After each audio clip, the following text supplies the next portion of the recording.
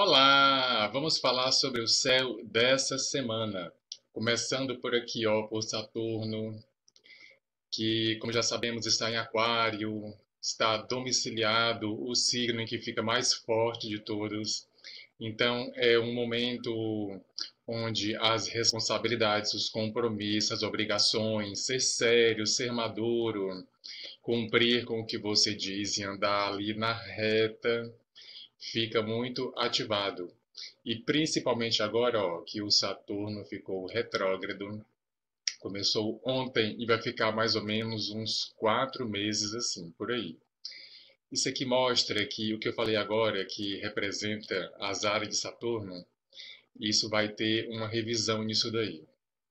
Porque quando o planeta fica retrógrado, é um estado de debilidade, porque não é o estado natural dele, natural é que ele vá para frente, mas quando isso acontece, ele ficar retrógrado, indo para trás, é porque tem coisas a serem revistas, porque o planeta retrógrado fala de uma revisão, de uma reelaboração, de reexaminação, os res.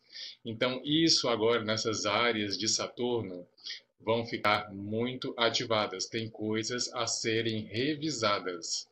E Saturno, ele é o planeta que representa o Brasil por excelência, por ser o regente do ascendente do mapa do Brasil, que tem Aquário no ascendente.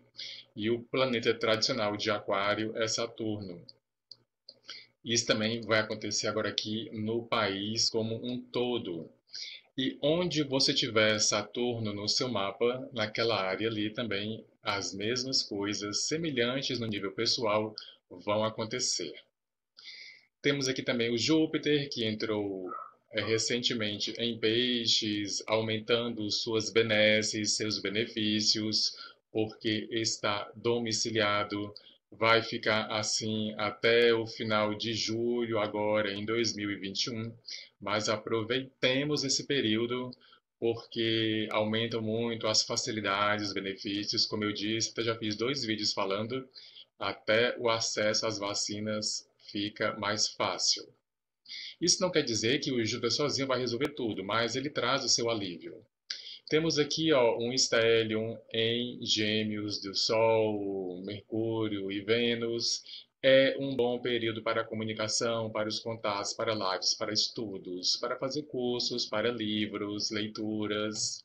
Aproveitemos os últimos dias aqui do Mercúrio direto, porque a partir do dia 29 ele vai ficar retrógrado. Então aproveitemos aqui essa semana que é, se você tiver que fazer compras online ou iniciar alguma coisa de estudos de comércio, é essa semana, que na próxima, a partir do dia 29, fica mais difícil.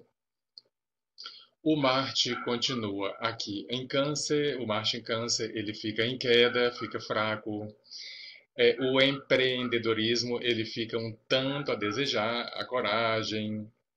E é, a questão aqui de, de, de raiva, um sentimento muito natural, ele fica mais emocional, não fica tão claro quando o Marte está em Câncer. Então, tenhamos mais um cuidado redobrado com aquilo que nos estressa, aquilo que nos tira do sério. Outra coisa também que é interessante falar, né, é que com o Saturno retrógrado, ele vai em direção a uma quadratura exata com Urano. Aqui eu levo em conta por ser é, uma quadratura exata. Aqui é um período de mudanças, de quebras, de ruptura das coisas de perna para o ar, de quebra de estruturas. Já estamos vendo isso aqui no mundo como um todo, no país e sentindo nas nossas vidas. Então, em linhas gerais, para essa semana aqui, é o que temos para o momento. Vai ser um mês onde vai ter eclipse, onde vai ter aqui essa quadratura exata de Saturno com Urano. Vai ser um mês bem turbulento. Aguardemos as próximas informações que o céu nos trará. Tudo de bom, pessoal. Uma ótima semana.